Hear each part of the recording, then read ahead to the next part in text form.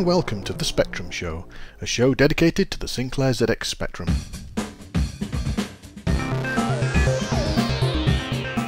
Coming up in this episode, we go back to September 1984 to get all the latest Sinclair news and top-selling Spectrum games.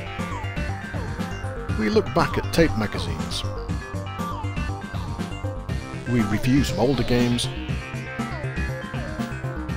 and check out some newer titles.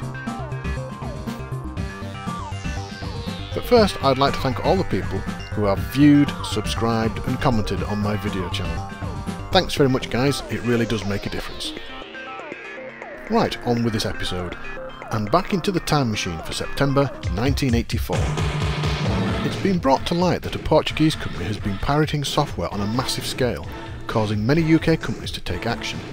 The company, called Microbait Software, has been copying games, duplicating cassette inlays, and putting games on sale illegally.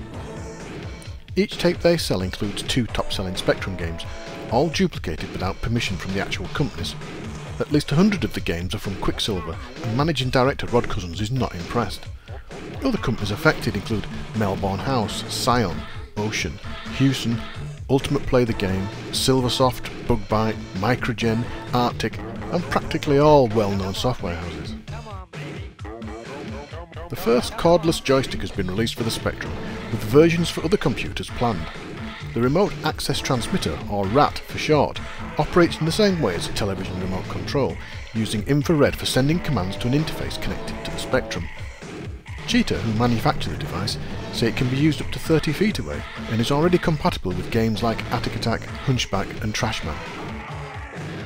Virgin Games are to change their strategy for software and concentrate on quality rather than quantity. Many of their older games that they now call not so good are to be reduced in price to clear stocks. These include Falcon Patrol and Racing Manager. Virgin will be working towards releasing fewer titles, but of a higher quality. Automata UK announced that its next game will be a totally new concept in computer entertainment. Deus Ex Machina includes a real-time soundtrack featuring the voices of Jon Pertwee, Ian Dury and Frankie Howerd, accompanied by professionally recorded music. The player guides a life form from birth to death, with the sole aim of living a good life. The gameplay is split into different sections, each with its own challenges and different accompaniment. Ubic's game Paranoid Pimp has been pulled from the shelves after a complaint from Weetabix. Initially, the Tyneside company were working with Weetabix to produce a game featuring the breakfast cereal characters as seen in the company's adverts, but Weetabix were unhappy with the result. Ubic made the changes requested so they could publish the game, but Weetabix were still not happy. The game has now been shelved, and Ubic will concentrate on their newer titles. It seems like every month sees another computer software company go into liquidation, and this month is no different. Digital Fantasia, the company producing adventure games, have now slipped under, but their games have been taken over by another company, Channel 8. Channel 8 will continue to sell the games and add more titles to the range. And now on to the top selling games. Games coming into the chart this month include 3D Tank Duel from Real Time Software. Battlezone in the arcade was a popular attraction, and this is Real Time's version, featuring more colour and good gameplay. Next we have Automania from Microgen. This nice little platform game introduces Microgen's new character, Wally Week. Wally has to collect the parts of a car and take them back to the garage where he can build the complete car, before driving it away. Each level had a different car to build, which kept play interesting. Next we have Cavelon from Ocean. This arcade clone sees you playing a knight who has to make his way through six levels of the castle while avoiding chasing enemies and collecting parts of the door to allow access to the next level.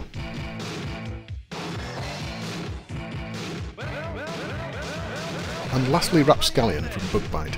This strange looking maze game gives the player the ability to change forms from a bird to a fly, and when you die the game does not end but you become a ghost.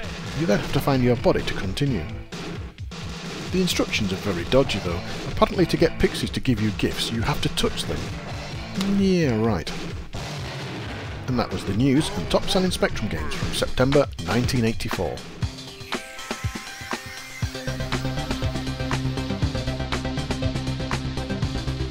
Was inevitable that someone would take the step of producing a magazine in electronic format, either for free inclusion in an existing publication or to be sold separately. The advantages of this were obvious. Less space to store your ever-increasing magazine collection, real screenshots of games, typing games that actually worked and didn't require typing in, and that nice warm feeling that you were moving into the future of electronic publishing, something that is only just maturing with the tablet revolution. The disadvantages, of course, you couldn't just pick it up and flick to a review or an article that you wanted. You obviously had to work your way through the tape to find the right section. The first tape magazine for the Spectrum was called Spectrum Computing, launched in May 1983 by Argus Publications. The contents were wide-ranging and included features, game reviews, games and useful routines. The games initially were just type-ins, for example this Aliens game from issue 1.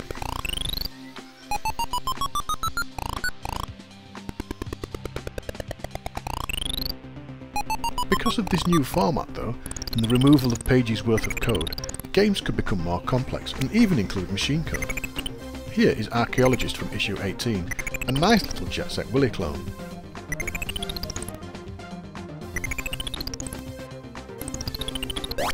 The layout of the magazine left a lot to be desired, but did improve over time, with the inclusion of larger headline text, better navigation and border effects. Other tape-based magazines weren't far behind. Hot on the heels of Spectrum Computing came 1648, released in November 1983. Attractively mounted on a colourful card, this had quite a large following and a much improved look.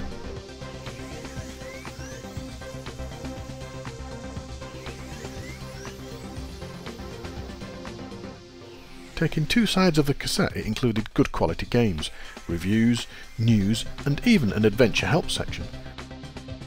I always look forward to reading that section because I was terrible at adventures.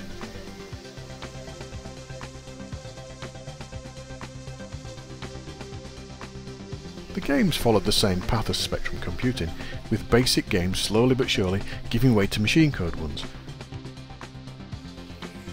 This is Elevator from issue 9, a simple game, just rescue the man. But you have to avoid being directly under the UFOs. Hiding under pillars can help, but you have to time your movements to avoid losing energy. Later editions of the magazine came with an ongoing graphic adventure called The Long Way Home. No doubt a marketing ploy to get you to buy the next issue, but still a good game.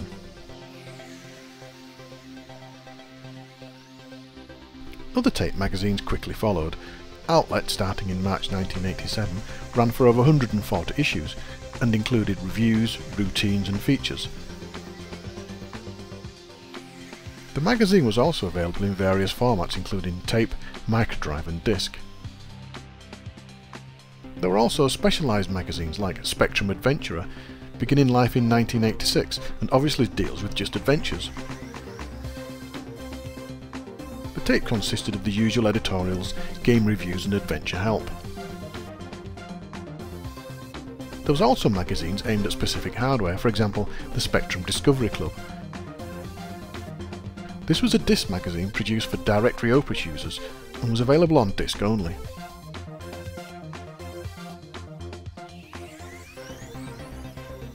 Sadly it seems the idea of producing magazines for the Spectrum on tape or disc has faded. There were still a few Russian ones around, and there's the odd one that pops up on the forums now and again.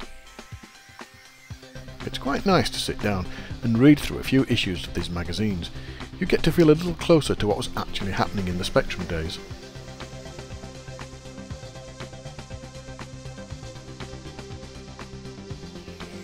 So when you're next time with your group of friends and they all get out their iPads and start harping on about ooh all the magazines that they can read, just tell them that, hey, You've been doing it since 1983, it's nothing new.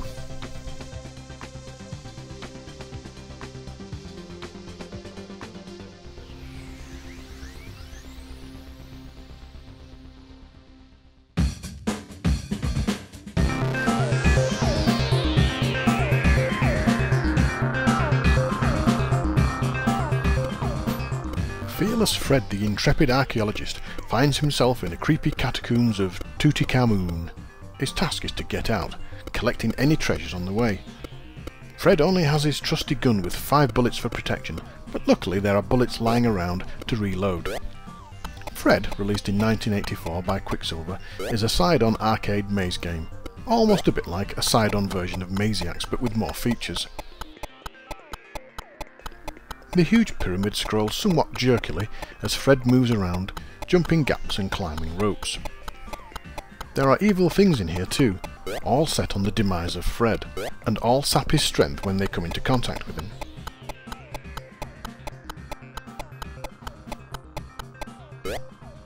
There are acid drops that have to be dodged. There are rats that look somewhat like hedgehogs that have to be jumped over. For some reason you can't shoot them. There are ghosts that float around and move through walls, and if you shoot them they just change direction.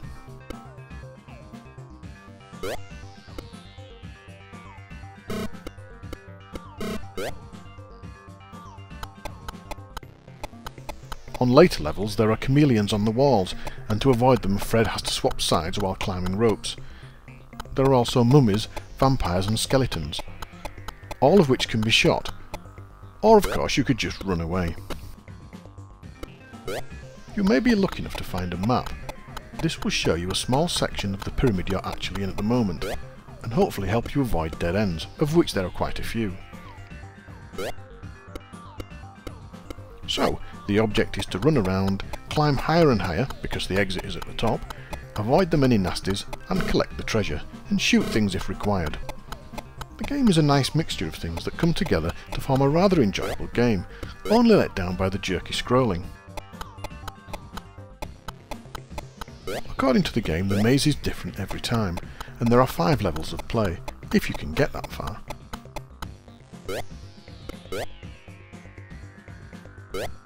I remember as a teenager finding the exit and being ecstatic. I still got a buzz when I found it during the review.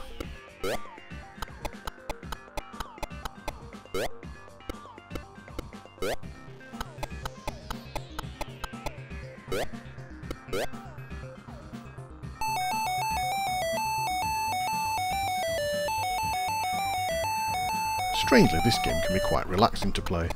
The pace is slow, but at the same time you get that feeling of not knowing what's going to happen next, especially on later levels, where you can suddenly find a mummy plummeting down a passageway towards you, having fallen off a level above.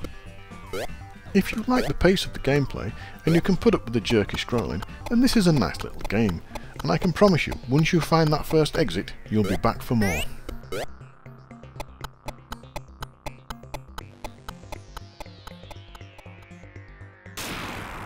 Ghosts and Goblins was released in the arcade in 1985 and proved to be a huge success.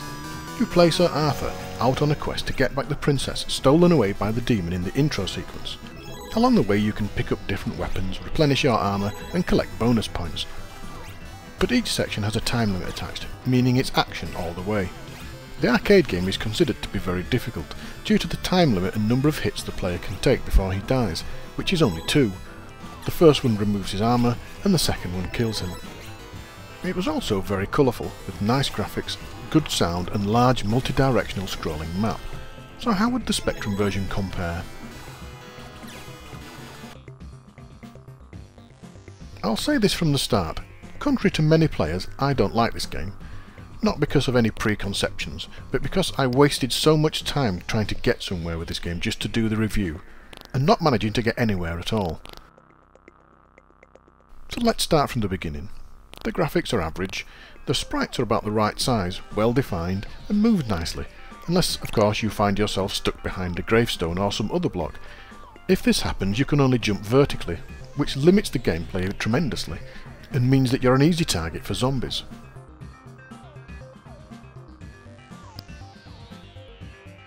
The levels match the arcade game with obviously not the same amount of colour, this could have been improved I think, but it was done this way to keep the scrolling smooth, as the colours are in bands across the screen. There's green at the bottom, yellow in the middle and cyan at the top. The sound is terrible. Yes, it's only a 48k Spectrum, but we should expect better than this. All we get is simple clicks when something gets killed. There's no firing sound, no bonus sound, no enemy firing sound, and there can be long periods of silence. Next, onto the gameplay itself. The arcade game in the introduction was me playing for the third time. I managed to get to the end of level 1 on just 3 plays. Maybe I was lucky, but the game was forgiving enough in my opinion. The Spectrum version, well, after almost two hours of playing I haven't even got past the first boss on level 1. Most of the time I couldn't even get that far. This leads to frustration and several times I had to actually walk away, make a cup of tea, sit down and read some emails and then try again. It was just so infuriating. After a few more hours I finally got to the second stage of the first level. This took another 30 minutes to beat, using a save game, and when I finally got onto level 2, this was even harder than the first. With monsters popping up right next to the player, moving about randomly, and an awful colour scheme that made locating enemies difficult at best.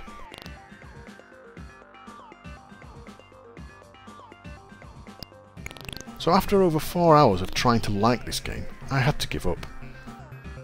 I'm not a brilliant games player, but clones of arcade games surely should have the same difficulty level as the machines themselves. If this was the case then I may have liked this game, but it isn't. I know I'm going against the grain here, but this game, for me, is a poor conversion that is just too difficult to play. If you like Pain, or can complete the arcade version with one hand tied behind your back and your eyes closed, give it a try. Otherwise, stay clear.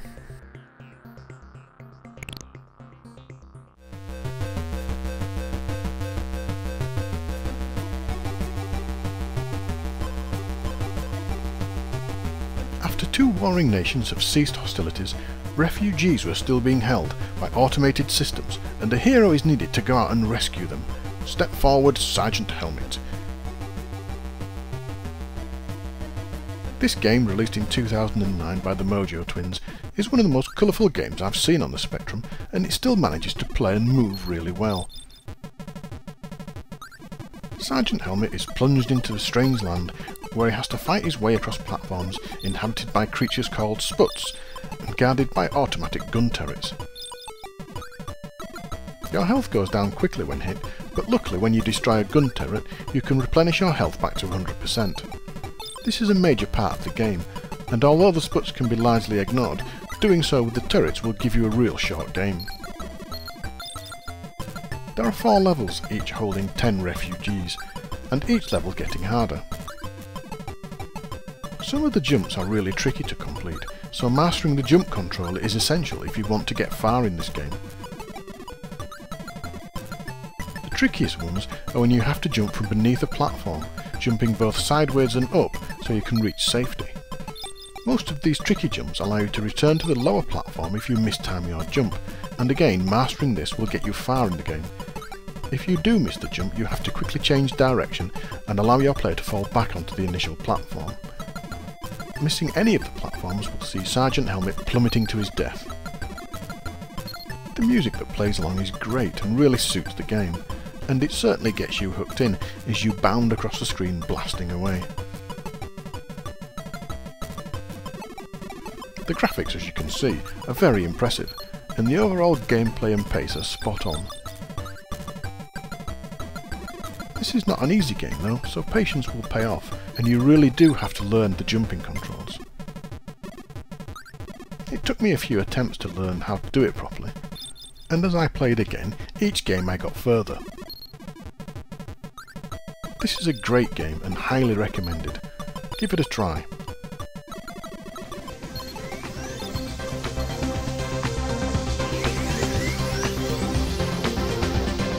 That's the end of this episode. I hope you enjoyed it. If you want to help making the next one, get in touch via the details below. See you soon.